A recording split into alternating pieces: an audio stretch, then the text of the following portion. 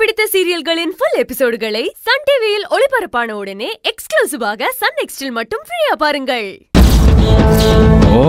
சுந்தரியால எனக்கு எப்பவுமே பிரச்சனை தான் இப்ப சுந்தரிக்கும் எனக்கும் இருக்கிற ரிலேஷன்ஷிப் தெரியும்னு இந்த விஜய் வேற வந்து குடைச்சல் கொடுக்குறான் ச்சே என்னடா வாழ்க்கை இது?